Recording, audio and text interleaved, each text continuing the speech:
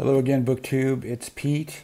I'm in the usual situation, which is that I sat up out on my patio to start recording, and then someone decided that would be a good time to start banging a hammer on a piece of aluminum or something, piece of aluminum siding for a while, uh, which is probably a, just as good a thing to do on a Sunday afternoon as what I'm doing. But anyway, it's time for me to do the booktube newbie tag and I'll try and go fast as fast as I can which is not very fast if you look at the timestamps on my other videos.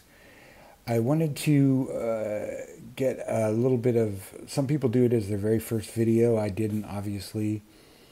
There's some advice I heard early on from Ollie Criminali when he was being interviewed on MJ's channel where he advised people to wait a few months so you have some content on there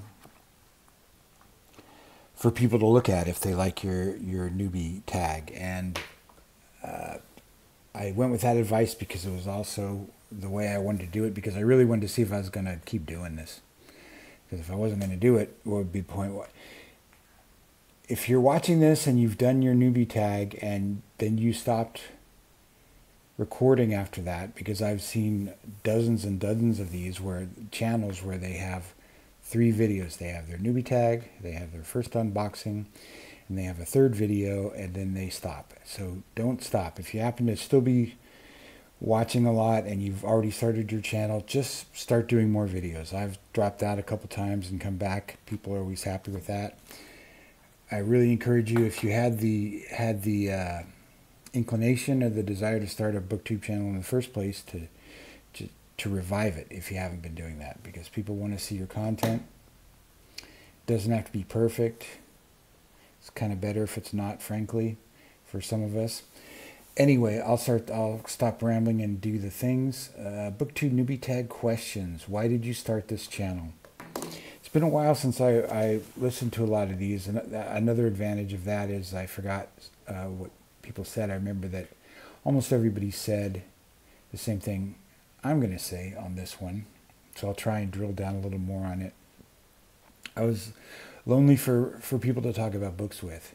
In my situation, I retired last year, last April, so almost exactly a year ago. That's another good reason to do this newbie tag today. It's my one year anniversary of retirement, and I started traveling. Before then, I was very lucky with the last job I had, which I might make a video about it at some point. It was sort of kind of book related, not really. It was a it was a menial job, a warehouse job that I really liked. It was not at Amazon, even though I'm from Seattle. Um, but there was a group of us there who really uh, liked books and talked about books a lot, and and it was a kind of a low stress job, so we were able to do our jobs and still blab about books all day and things that were important to us. Over the years, the staff turned over a lot, a lot of turnover at that job.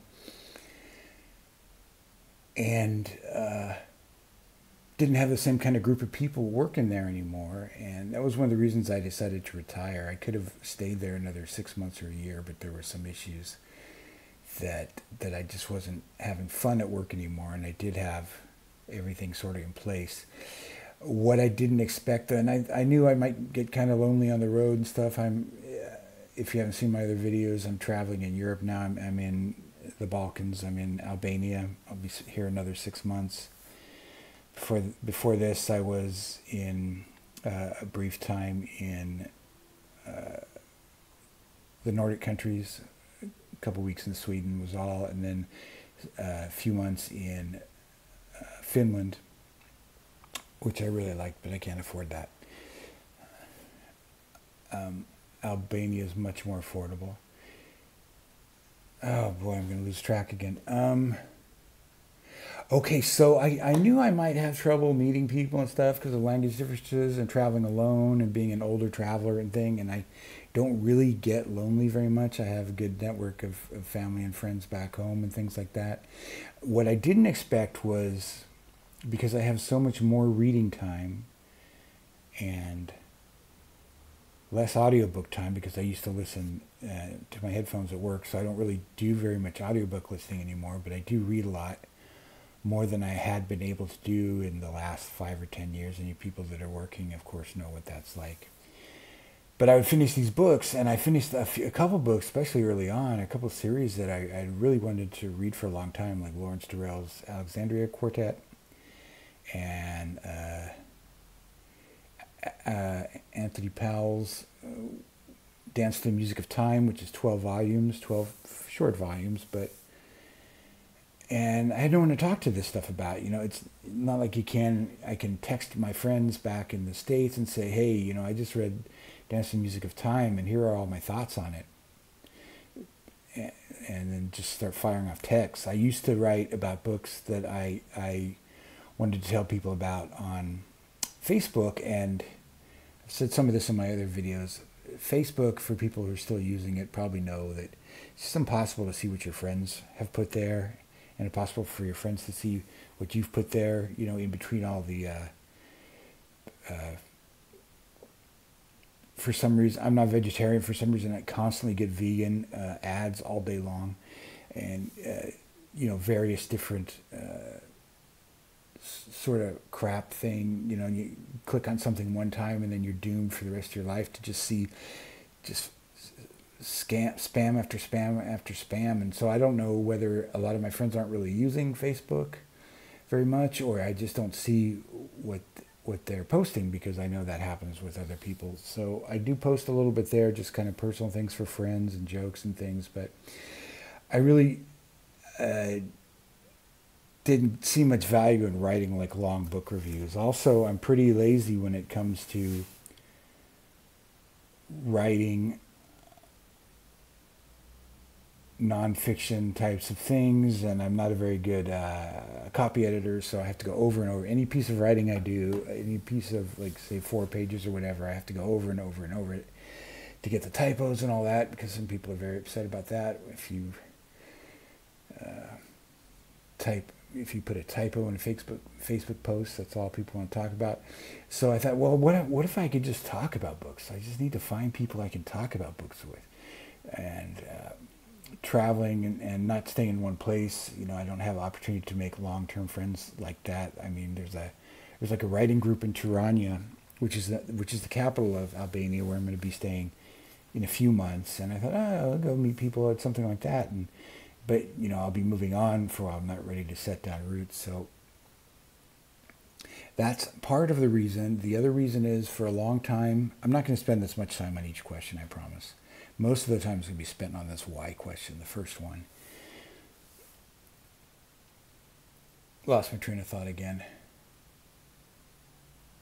Oh, I've always spent a lot of time on YouTube, and I've gone through different phases on YouTube, and I guess I've never really thought of it until recently as a social media network at all. Uh, I'm one of those people who would just watch things. I would never subscribe to anybody's channel. I would never hit the like button. I would never like and subscribe like they always ask you to do.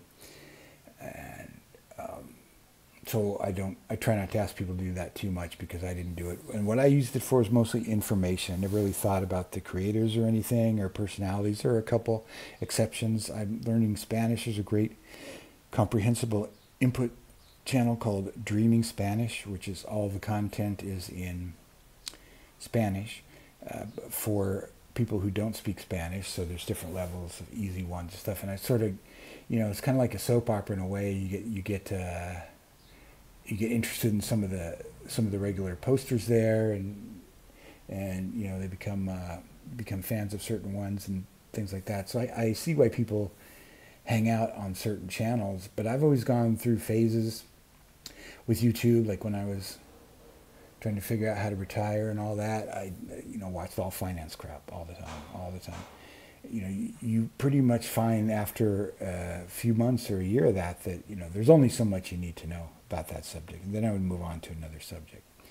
Or there's a lot of those faceless channels um, where they talk about like bro subjects, uh, like uh, philosophy. There's a lot of there's a lot of channels that you know do a lot of um, uh, coverage of different philosophers and you know Nietzsche and very popular, of course, all the Stoics. Uh, who's the other one? Dostoevsky. So I watch a lot of those. Fiction Beast, I think, is my favorite of all those channels. That guy works hard.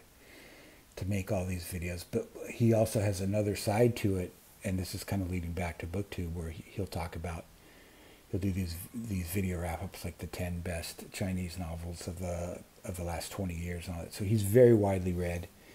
Uh, he he reads, he writes scripts. His videos are half an hour, an hour long. He writes scripts. He obviously reads them himself instead of having like a chat bot read it. Um, and you know, when AI started really hitting strong a couple years ago, the, those kind of channels just became so flooded with so much crap that I kind of got bored with those too.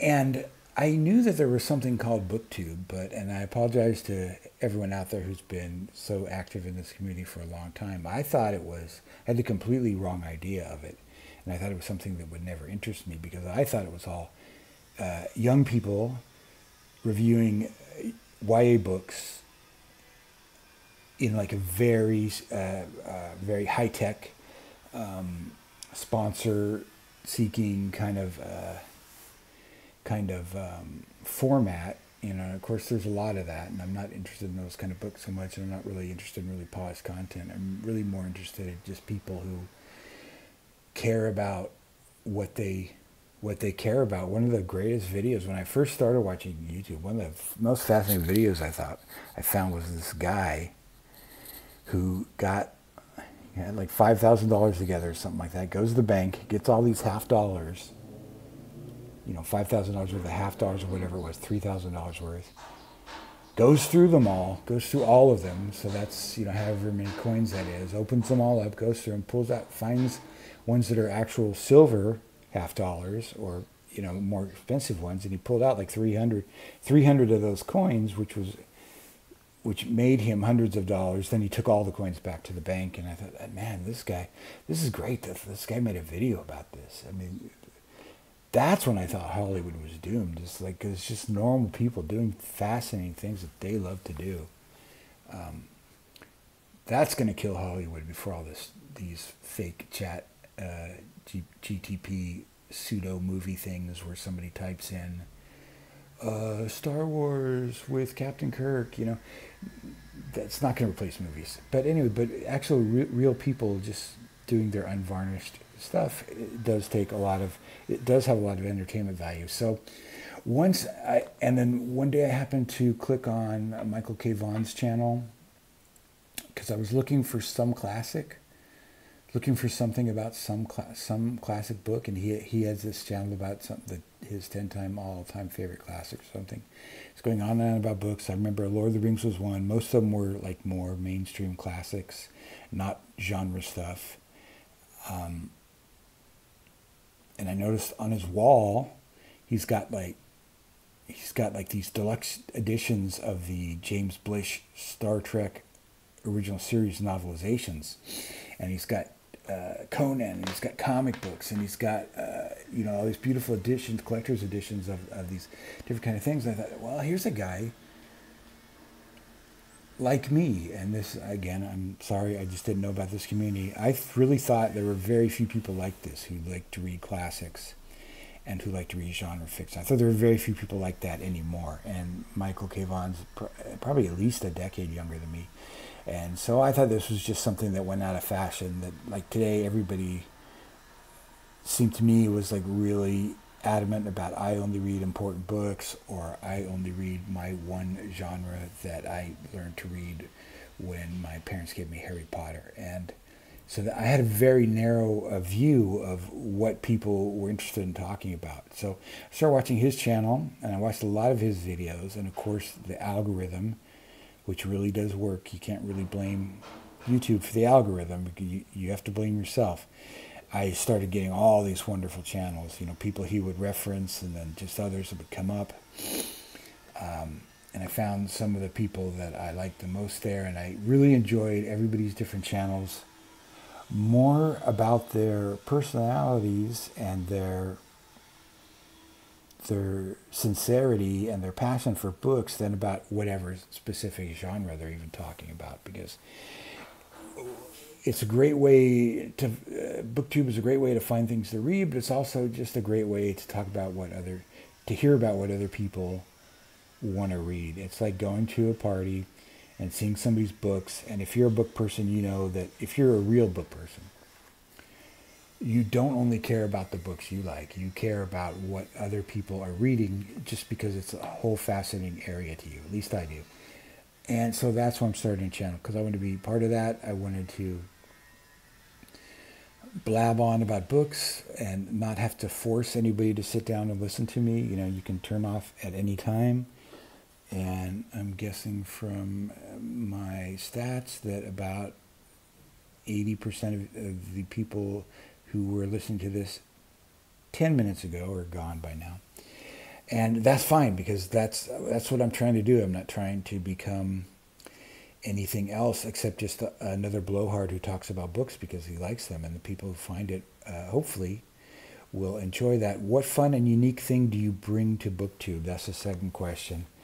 It's a kind of irritating question. Uh, nothing really, because nothing and everything, because uh, no matter what I could say about myself demographically, there's already somebody doing it. If I could find the most unique thing, like I'm the only former Seattleite from who retired and is currently living in, in Albania doing booktube today, uh, and that's probably not even true. There's probably others in English. Um, but what I think I can do is I decided early on not to care about production values at all. I did go early on into rabbit hole of watching a lot of this is another thread of, of YouTube of watching a lot of you can make money on YouTube kind of videos, not just for the purpose of making money, but more for the purpose of seeing how to do it well. Like, okay, I need a light, but it's got to be a light I can travel with, and I need a stand for my, and I need a good microphone. I don't carry all this stuff, and and I thought I would do some more editing and and and that kind of thing. But then when I looked at these online editing programs, I was like, ah, all these levers and I don't want to learn all this stuff. So I just decided I'm not gonna I'm not gonna edit. I'm not gonna do anything. I wasn't even gonna do thumbnails at first because, in my opinion, the best thumbnails on BookTube, bar none, is Steve Doniger because his face, because he's always got a grin on his face he doesn't do a thumbnail, so it's just the first image that comes up. And that, talk about branding. If people want to brand, uh, he's got a brand because you know his videos because you know his face. But anyway, I did, I did do uh, a couple, um, I did learn how to make um, thumbnails real quickly, so I do enjoy that. So I did do that. But other than that, obviously, I'm not editing. I don't even pause the thing because I'm afraid if I pause it, I'm not going to be able to restart the same video. I'm either going to lose it or I'm going to have two separate videos and I don't know how to put them together or anything. And so I decided I'm just going to do the fun part. And as long as I get uh, at least 10 subscribers, I was hoping for originally, just for the illusion of not speaking into the void. And okay, so that is what I bring to it. I bring the ability to show you that I'm so bad at it and it's not stopping me. And there are people that like it, actually, a few here and there. So you should not let that stop you either. That's the unique thing. I'm just saying. It's kind of a it's a punk rock attitude, I guess. If you want to be, uh, you know, late '70s, early '80s about it, to say like we're just going to do it. We don't know how to play. We're just doing it for fun, and you can too. And that's how you make friends is you don't cut yourself off from other people. And just do what you enjoy and then the people who enjoy it with you will have a good time and the other people you don't have to worry about because there's plenty of stuff they can do. Okay what are you most excited about in starting your channel? Uh, well nothing really that i can't can't say i really already covered. I'm excited about the opportunity to, to do it and uh, and to have the the forum just to talk about any anything that's on my mind because I, I find that most things I can relate back to books somehow because I love books so much and they're such a big part of my life. And I'm excited to meet new people and hear about their channels. I'm always excited when someone comments on my channel, and I'm or if they uh, subscribe to my channel and they've got open and if they've they haven't hidden their subscribers, I can see that they're subscribed, then I can subscribe back to them. Uh, so I like meeting new people and and having this in common with so many different types of people. Uh, why do you love reading? That's a tough one. That's a big one, right? I will ponder it.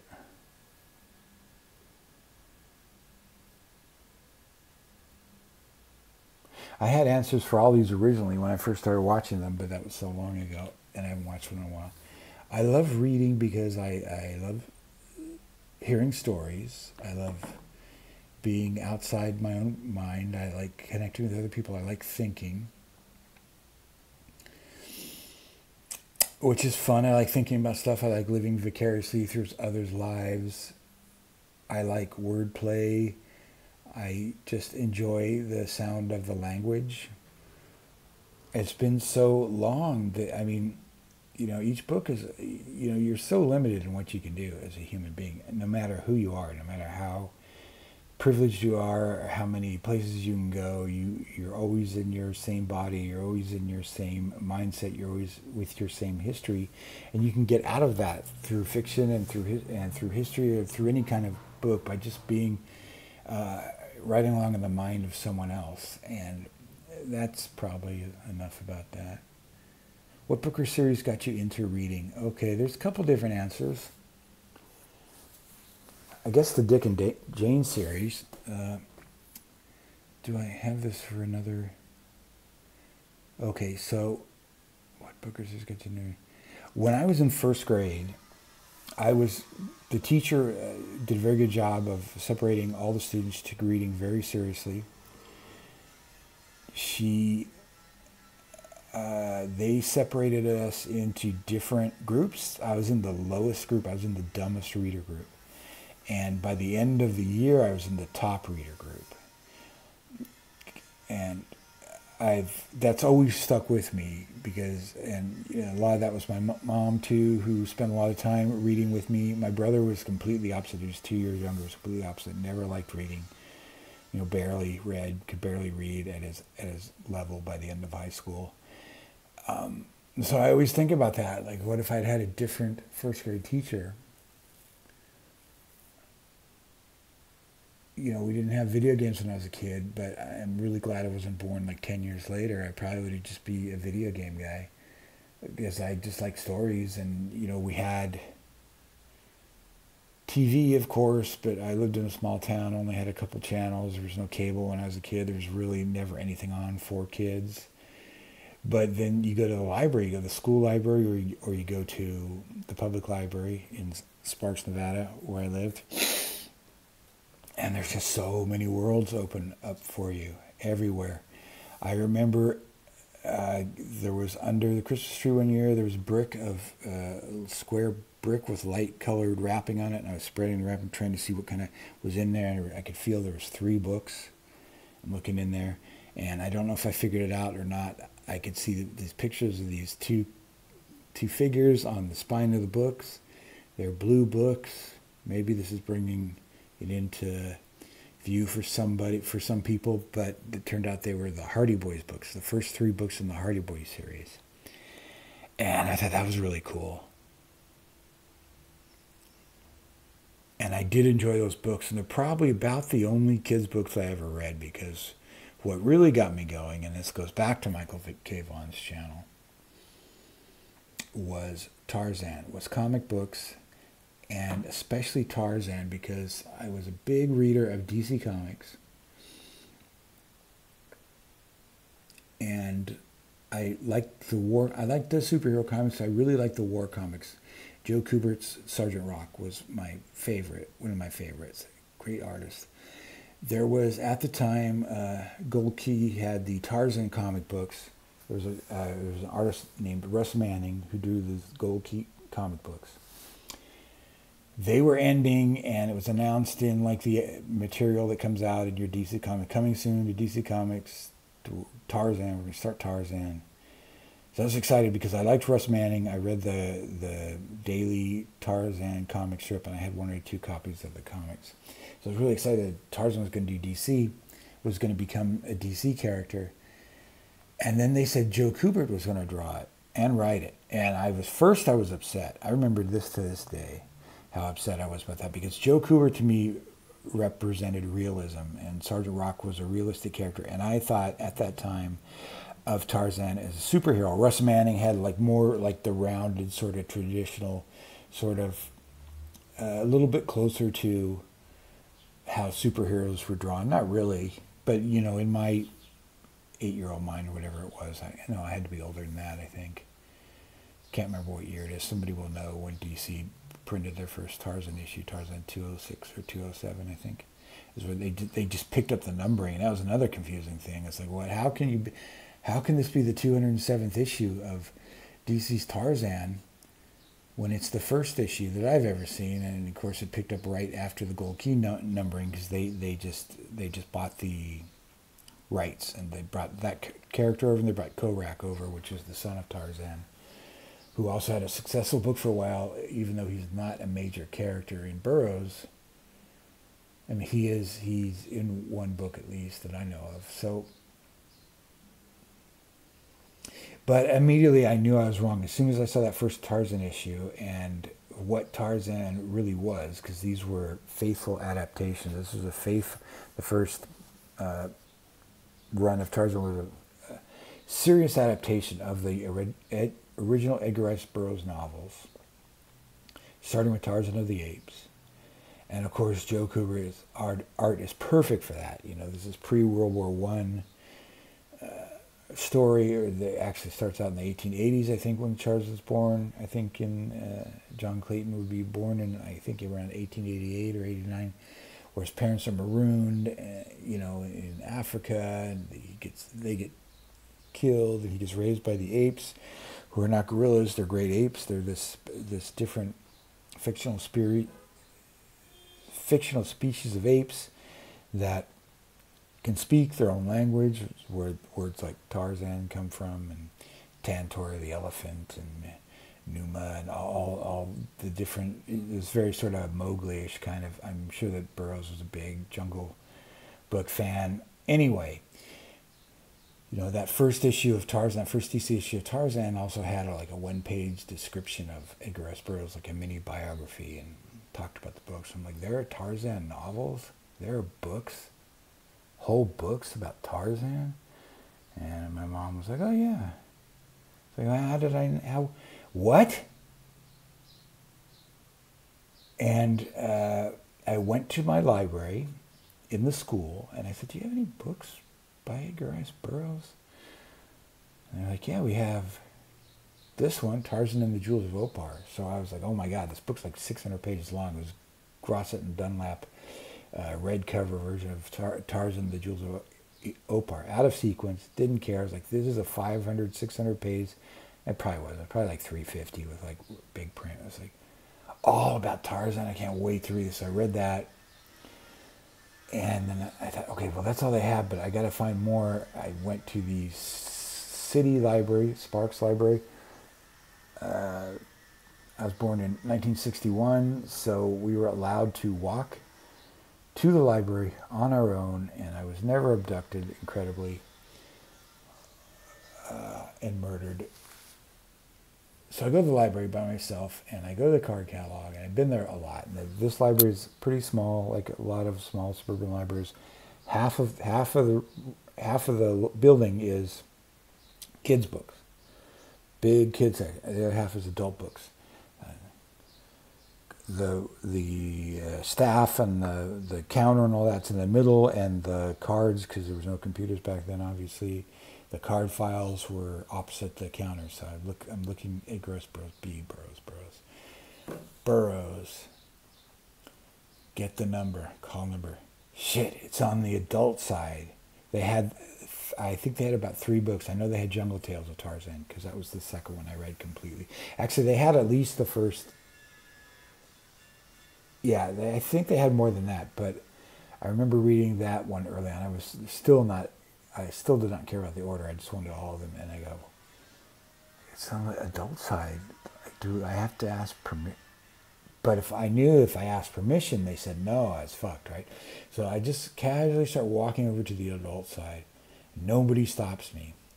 I didn't know that was a thing. Obviously, you know, I know now that's not a deal, uh, a thing. Like they're not adult books. You're not you're not forbidden from reading books in any part of the library. Um, and I thought I'm going to take this to the counter and give it to the lady to check out. She's going to yell at me that I'm too young to be reading this book or whatever.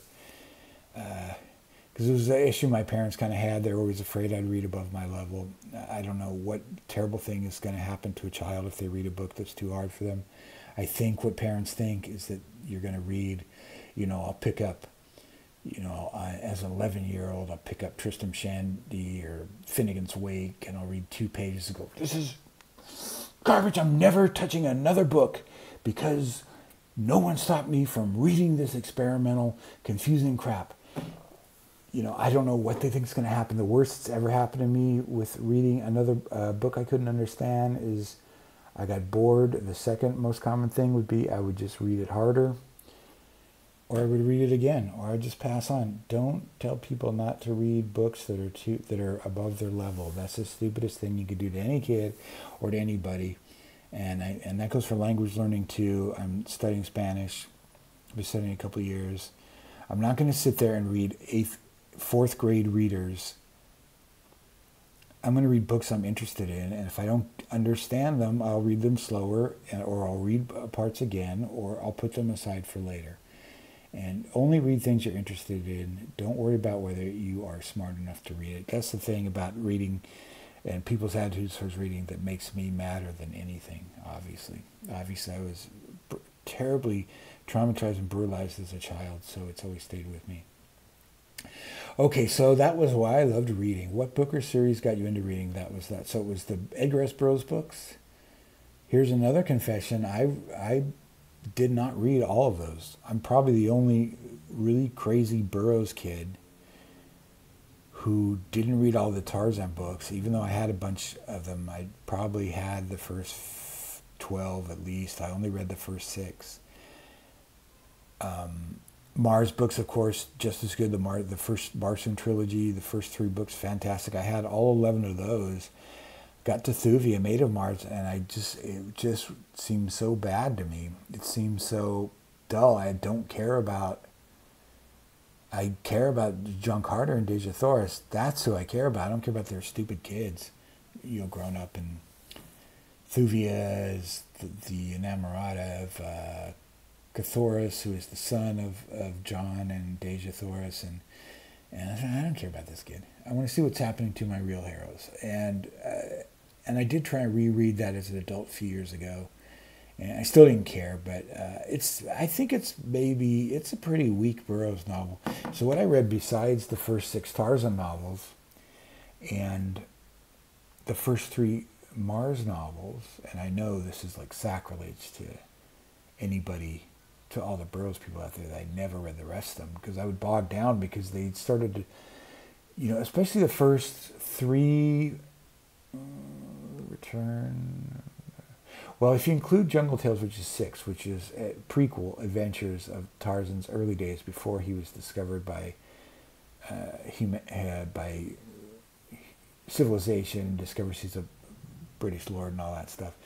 The, so the, the main books are uh, Tarzan the Apes, first one, The Return of Tarzan. This kind of completes his origin story. The third book he's got this arch enemy guy named Nicholas Rokoff, and I remember the third book, The Beast of Tarzan, starts with like, Nicholas Rokoff has escaped, or something like that. So I was like, oh my god, the guy's back out. Uh, this evil guy who hates Tarzan is back out.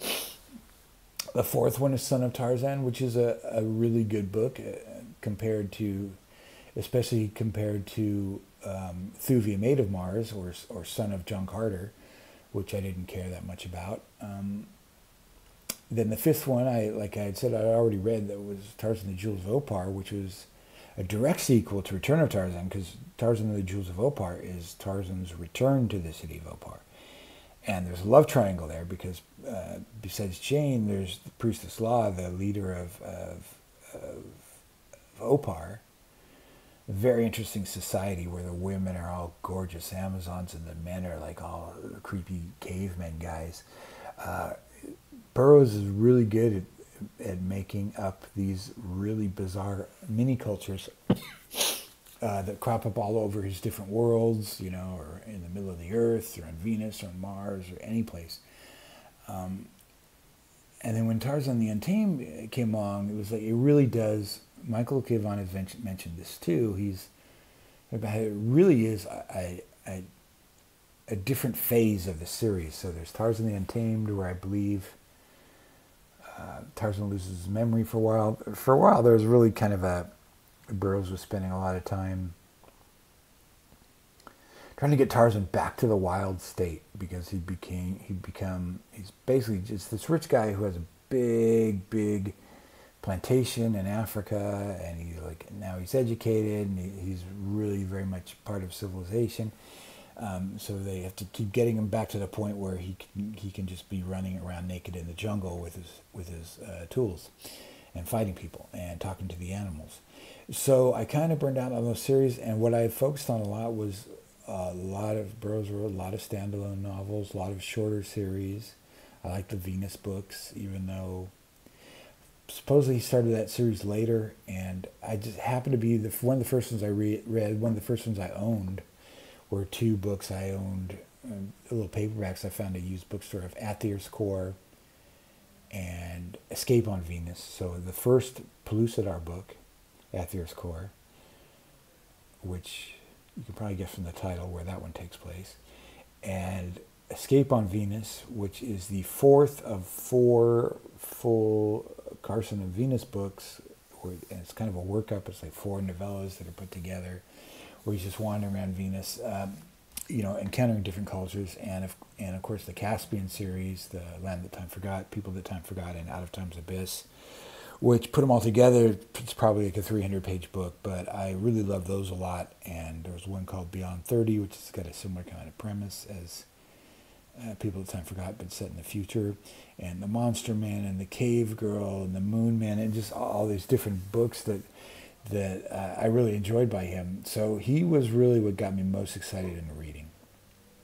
I would say that's the series, more than The Hardy Boys. I read The Hardy Boys for a while pretty excited about those early on, but I felt like they weren't really at the same level as Burroughs.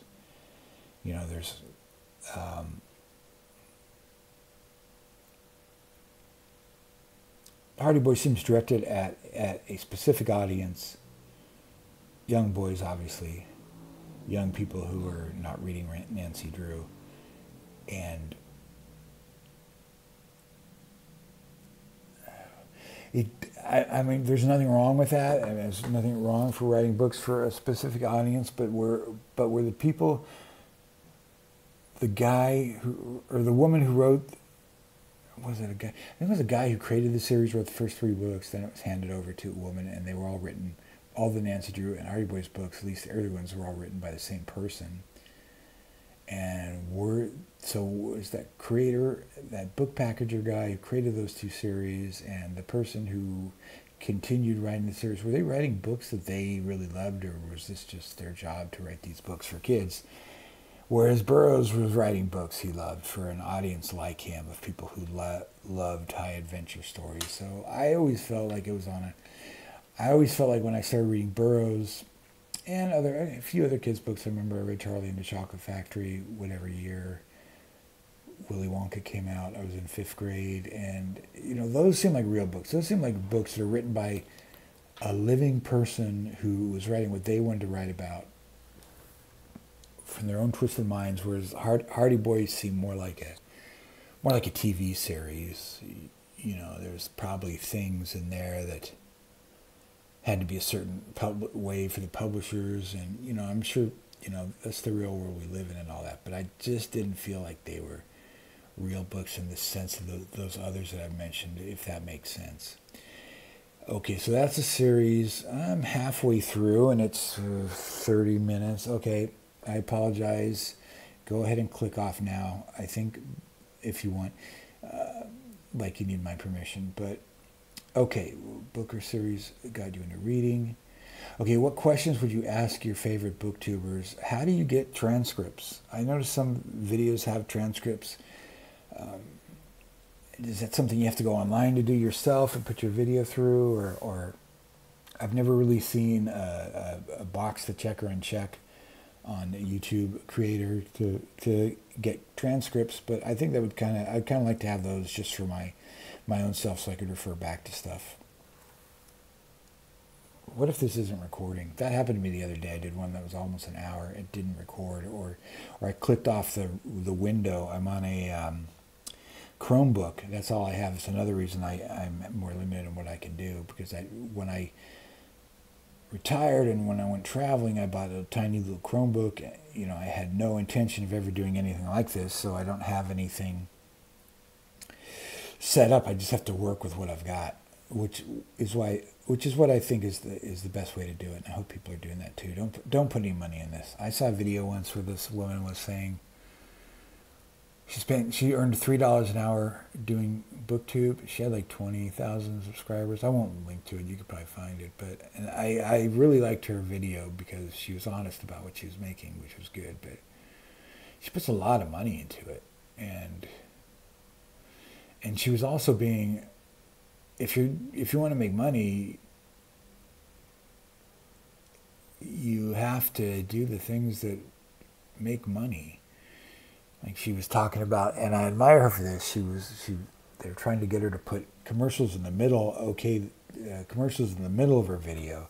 She wouldn't do it because she thought it ruined the video. But on the other hand, spending all this money on equipment and lighting and editing and hours and hours and anyway, uh, that's her thing. But I I really appreciated her video uh, about three dollars an hour because it that and that was another video that made me decide I want to do this because oh great if there's no money in it you know if you if you if you're only averaging three dollars an hour you know based on the 20 hours it takes to do each one video um, and you're only making three bucks an hour and you're spending 40 hours a week on it that frees me to never have to worry about money and never be tempted into thinking this could be a job for me for other people it can. If you're young and stuff, and you're and you're working those and you're working that, and you're out there hustling, you got to do what you got to do. And I wish you all the best of luck with it. And you have to find a different way to find an audience stuff. But fortunately, I don't care about any of that. So that's a privilege I have. That I don't have to. I'm not trying to make money off this. Okay, what? So that was my question for the favorite booktubers. Like, how do you? do transcripts, I guess. That's a question. I could figure that out on my own, I'm sure. So don't bother answering unless you want to. But uh, I find, uh, in terms of questions asked, I find people are very helpful. Think people are very open. Um, there's been some people have been very supportive already that I just I should just shout out here that um, I'm really grateful to have their, you know, their guidance and their advice. Um, not on a personal level, well, a little bit, you know, but people have addressed me in videos and stuff, like like MJ from Reading This Life, She's very supportive of new booktubers. Obviously, that's almost her whole thing is being supportive of other people and you know, she shouted me out once, and, and I really appreciate that. So I feel people are very open and welcoming welcoming Kelly at Books I'm Not Reading has also been very open and welcoming and and very supportive of my channel and it's like so nice and so flattering when, when people who with these big channels big you know compared to us newbies take the time you know to reach out and all that it's really fun and uh, Mark from uh, from Book Time with Elvis was who also had a, a, video about why you should do a channel. So I'll uh, I'll link to all these people, of course, but he's got one of the best. You should start a booktube channel, one of the most encouraging ones, and he was very nice to uh, send out a link and stuff when he noticed I had a channel going. So he's all have all been very helpful. As my buddy also Faceless Book Reviews. I don't know if he even uses his name. I don't even think I know his name. That's how it is with your YouTube buddies. You don't even know. My name's not even Pete, but I like to use Pete here because my real name's Michael, but uh, I don't really like the name Mike, and I do all my other social media under my real name, which you can find if you go to my channel's description. I don't put it in every video description, but you can find my my web page and my links to my writing and all that stuff. But I just wanted to have like uh, a different sort of persona because if I'd started over with writing and all that originally, I would have just made up a name anyway. And I think I like the name Pete, so I go by Pete. Okay, so what challenges hurdle? Okay. Oh, what questions would you ask? So, what challenge or hurdles do you have starting your channel? Um,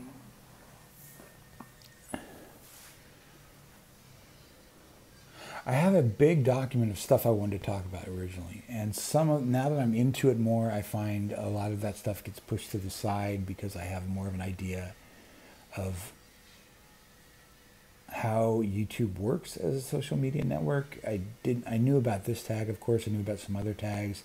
I didn't know about all these challenges and I love the challenges and they're so cool. There's so many cool challenges going up and, and it's not like I don't want to do them all because I do want to do them all. I really want to do them all and they are so much fun and I've gotten a lot of reading done in different areas that I wouldn't have done like I'm I'm working right now on There's No Place Like Rome. I finished the first volume of Decline and Fall of oh, I almost said Western Civilization.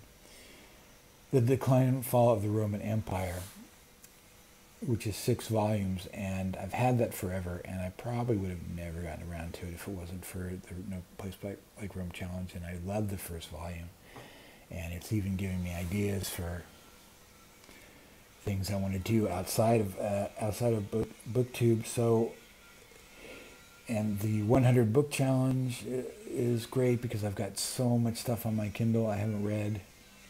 So it's really helping me a lot uh, but the challenge is and the hurdles are I've met so many great people in such a short time and there's so many channels I love that it's very hard for me to get to all of them. I would I could literally sit here all day and watch booktube and I'm sure and then I would have nothing to talk about because I wouldn't have any time to read and I wouldn't have any time to do my own writing and I'm supposed to eventually uh, you know pretend to enjoy being a tourist and and and at least take walks. You know there's a lot of things I want to do and now this is, YouTube is one more thing I want to do. It's not it's not like uh, these videos where you feel like I'm leaving booktube it's just too hard it takes so much time and all that because I mean that's all self-imposed but I do really struggle with wishing I had more time to to spend watching other people's channels. And also uh, posting on a consistent basis I get really into it for a while and I post a lot then I'll start posting and, I, and sometimes it feels like I'm losing one subscriber every time I post a new video. It's like uh, enough of this guy. Let me unsubscribe. Just you can you can take off the alerts if you want. You know, so you can keep the subscription, but just remove the notifications by going into the bell. And but I understand if people don't want to do that, it's too hard to figure out. But uh, you know, intellectually, I know that people shouldn't subscribe if they're not interested in the content, and it's not a big deal if they're not interested. But it does feel like I'm sometimes I'm like alienating people just by posting so much, and then I posted too little for a while. I'm I haven't got into a really good rhythm of it. Uh, I would hope that people could ignore my videos and just cherry pick the ones that are interested to them. That's what I do with other people.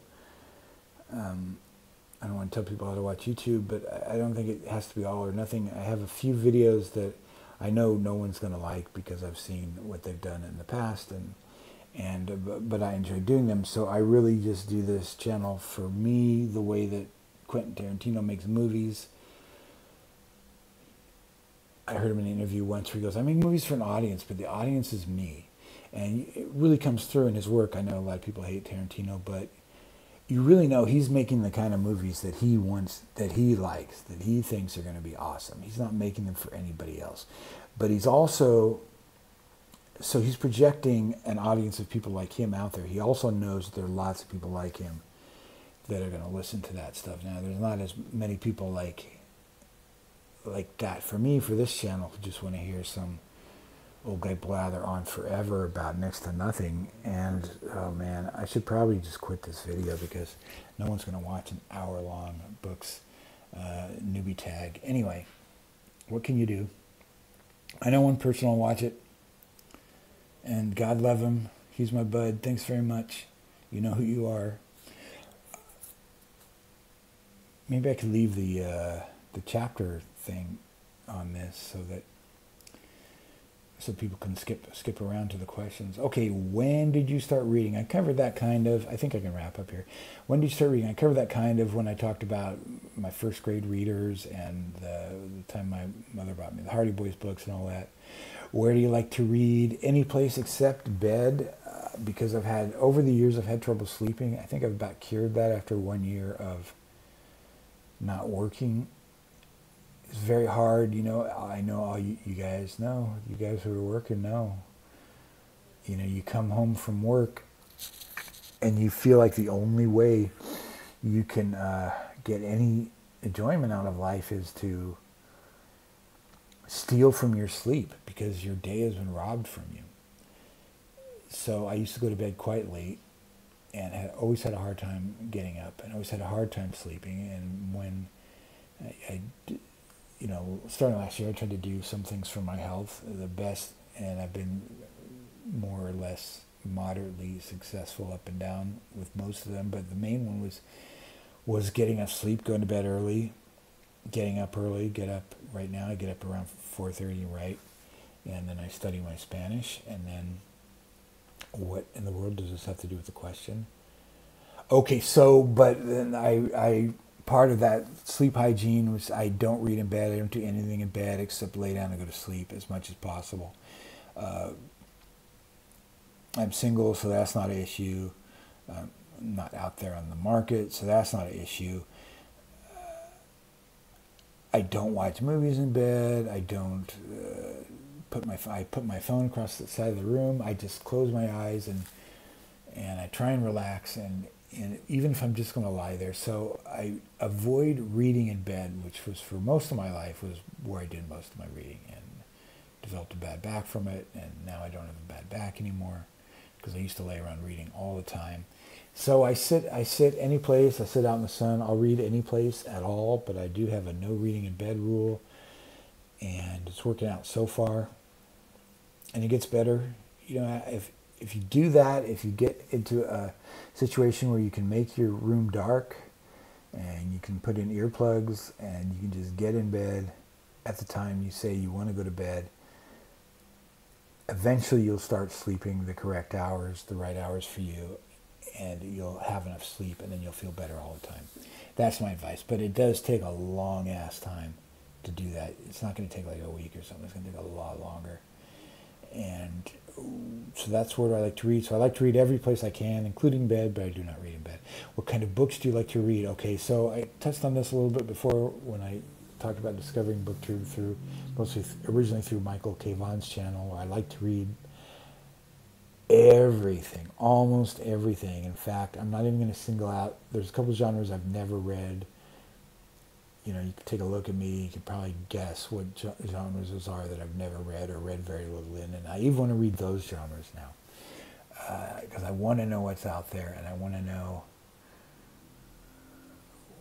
what people enjoy. I really love the whole world of reading and genre books and literature, and I've never been intimidated by. Uh, literary books or so. I've never been uh, intimidated by snobs who say you shouldn't read this crap with this cover, and and I've never been in, intimidated by the reverse snobs who say you should you sh- you should never read serious books. Both both kinds of person are, are awful, and I was lucky in that I read. John Gardner's books on writing when I was very young. I, one is called The Art of Fiction, and the other is called On Becoming a Novelist. I don't remember which one of these this information is in. I think it's in Art of Fiction. He's, where he's mentioning, he's a literary writer, but he mentions a, a big list of SF writers that he likes that are, that are quite good. And, you know, and he talks about the Academy not appreciating them and, and the Academy, the quote unquote Academy, you, know, I remember he said uh, one he mentioned was like, you know, you, you a reader a reader will go to college and they'll think uh, certain writers like, you know, especially women writers like Pearl Buck or something are really good, but then they'll be told by their professors that they're actually second rate, and you know, same with science fiction books, and you know, these are these are um, prejudices that he experienced growing up you know, back in the whenever it would have been probably the 50s or stuff. So there may be different examples now of what's looked down upon or not, but it's so tedious. So he says it's the reverse, the snob and the reverse snob or something like that. Um, they're they're both just as bad. The person who thinks uh, you know, you see this on Twitter a lot, but they're always making fun of people for liking some serious filmmaker like Tarkovsky or something like, oh, you're so.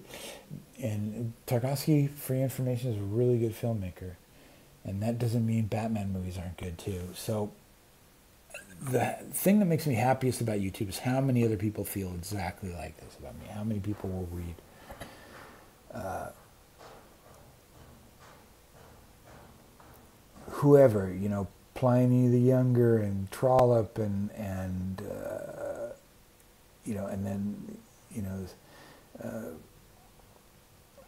then the uh, Man Thing and and Marvel, you know, complete run of Marvel's Thor or Man Thing or something, and that's how it should be. You should be reading what you like, and just because people tell you you're pseudo intellectual because you like also like hard books, that's just the stupidest telling people that they're uh, they're lowbrow for only liking trashy books like the Twilight books or whatever it is. Everybody starts somewhere, and everybody is entitled to read the books they want to read. So, what kind of books do you like to read? Okay, what does your book collection look like? Okay, I'm glad I forgot to cover this earlier because the reason I called my channel Bookless Pete is and that's why I didn't think originally I was going to be able to make a, a YouTube channel or that anybody was going to watch it because the main thing, one of the main things, uh, other than the personality of the person that I like, is seeing people hold up their books and talk about their books, which I can't do because I don't have any books because I got rid of everything I own when I when I moved out of Seattle. I didn't want to have any connection there anymore, so I didn't want to have. Uh, I don't intend to go back to the United States. Who knows what will happen, but but I didn't want to have a, a storage shed full of crap uh, that I was never going to look at again, or or just. So I got rid of everything I own, every book, everything except what I have in my bag and on my Kindle.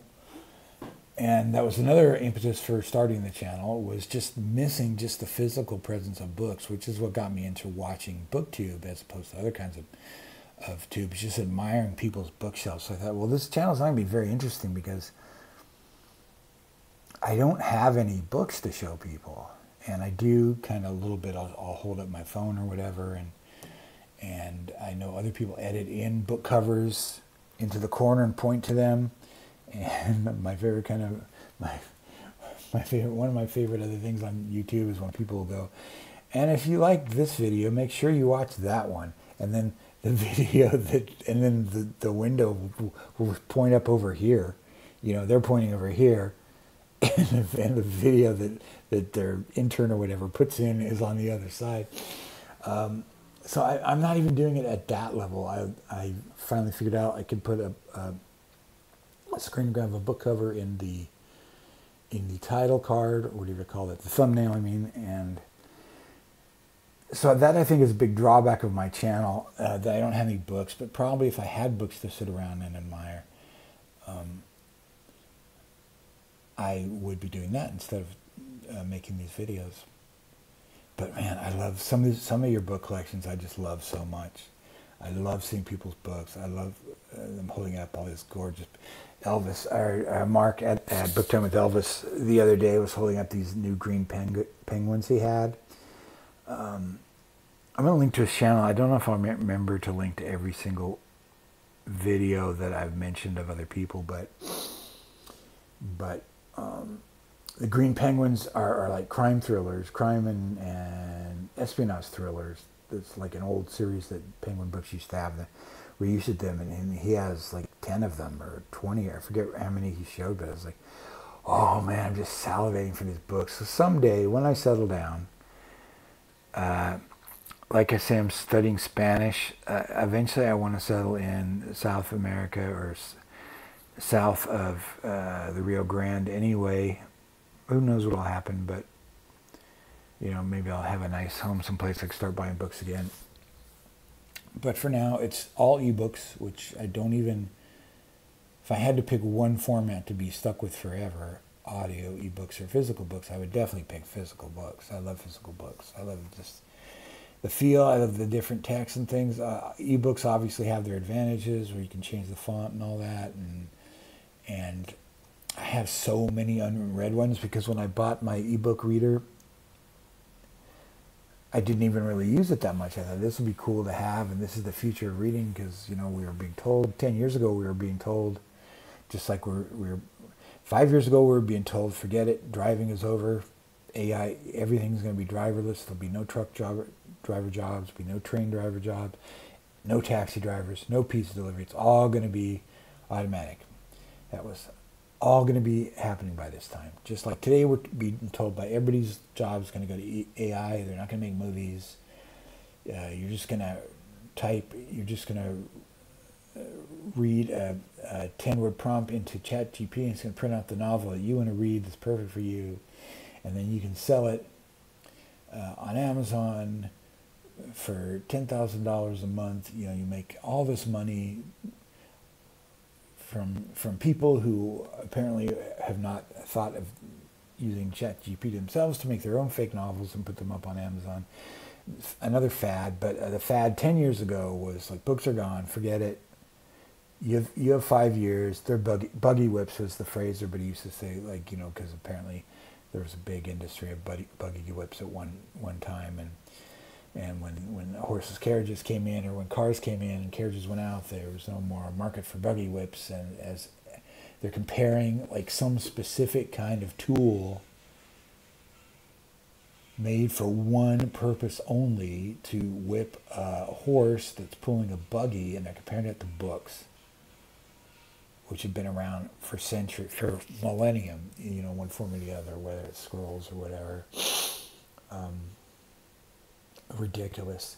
You know, I kind of believe them, and I believe them about the cars too, which is why I don't believe them about the chat AI. Uh, because you know these people who are boosting all these things are very happy to be all over social media all the time, going, "Oh, it's going to happen! It's going to happen! It's going to happen!" You're a luddite.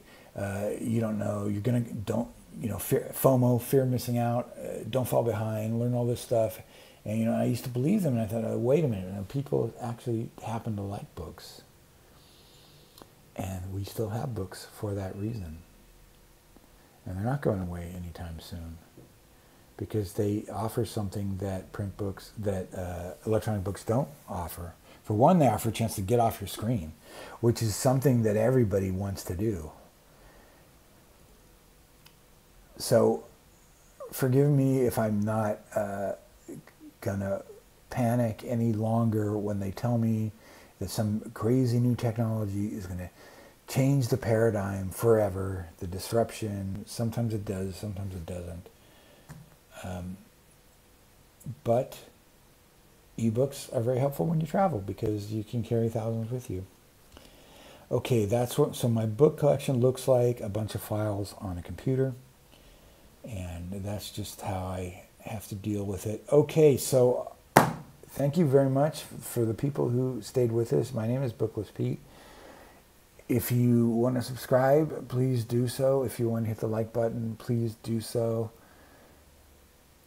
If you want to leave a nice comment, please do so. If you want to leave a, a nasty comment, um, go ahead. I'll just block it. I haven't had to block any comments, so that's another thing is people are, are so nice on BookTube. Um, the one thing I need to do is think of a sign off though. That is the one commercial or, or at least professional thing kind of thing I need to do because I can never end these videos. But if I had some phrase to say, like when people say bye for now or thank you booktube or, or or there's some really sweet ones that I won't repeat here because uh, you know I don't want to misquote them or anything. But Kelly's got a really nice one and and a lot of people have their phrase, which would be very helpful because then I could just say that phrase, whatever it is, and turn off the video. But now I don't have something like that, so I just blab on and blab on and blab on until I'm done, which is I am right now.